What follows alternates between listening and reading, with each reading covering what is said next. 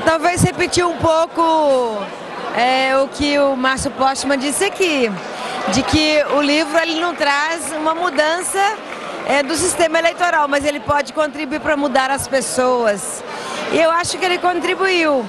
É, ele fortalece convicções, o debate fortaleceu convicções, é, provoca reflexões e mais do que isso, nos mobiliza a procurar alternativas que possam mobilizar as pessoas, a convencer as pessoas de que a nossa luta por uma política por P maiúsculo é muito atual.